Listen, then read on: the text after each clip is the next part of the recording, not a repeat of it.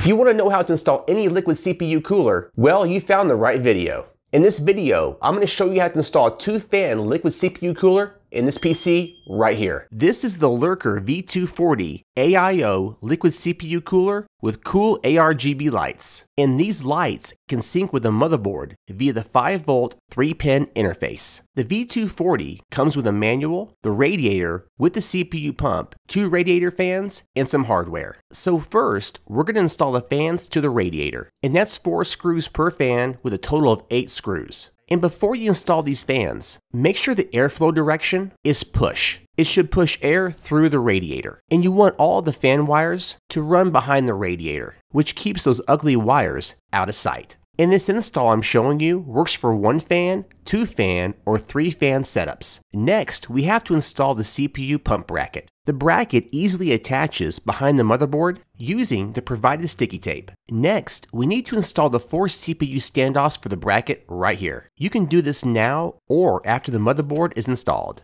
We'll do it after. And our motherboard and CPU is Intel. But all CPU coolers come with an AMD and Intel bracket. Next, install the radiator to the PC case. And the best placement for a radiator is at the top of the PC case. You always want the CPU pump below the top of the radiator inlet, where the two hoses attach. After we're done installing the radiator, we can now install the four standoffs. Oh, and guys, don't forget, if you like this video, give a thumbs up and share it. If you're loving it, hit subscribe and the bell notification. Thanks. After all four standoffs are installed, it's time to attach the pump bracket with these four tiny screws. And I forgot to mention this, the only tool you're going to need for this installation is a Phillips head screwdriver.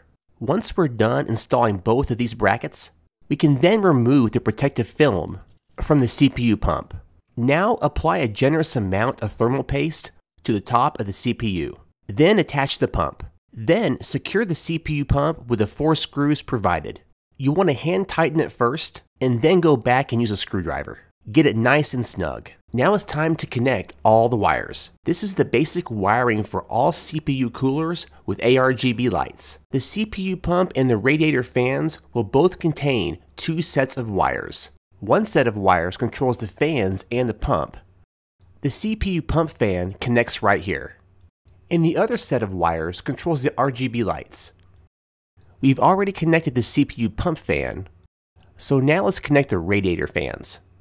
The two radiator fans will connect to a two cable 4 pin adapter that plugs into the motherboard CPU fan connection. So this is the ARGB controller that controls the lights for the whole system. There's a button right here you push, it changes the colors and the patterns. These two wires come from the two fans up top in the CPU pump. And this connection comes from the fan controller from the PC case. And don't worry, if your PC case does not have a fan controller, then just skip this step. And this connection goes to the CPU fan connector on the motherboard. And then lastly, we have the power that goes from the power supply to the controller, which is right here. After you finish connecting all the wires to your CPU cooler, go ahead and start up your PC and make sure all the fans are spinning and the lights are turning on. You can then play with the controller to find the right color scheme that you like. If your PC case is like mine and has a fan controller, and you connected the controller to the CPU controller, you can use the remote for the PC case to match the colors of the CPU cooler, so the lights are all in sync. So this video should help you install any CPU cooler, all varieties and all brands, whether it's one fan or two fans or three fans. The setup is the same as well as the wiring. If you have any questions or concerns, Leave them in the comments below. I answer all questions. And guys, don't forget to like, share, subscribe, and comment.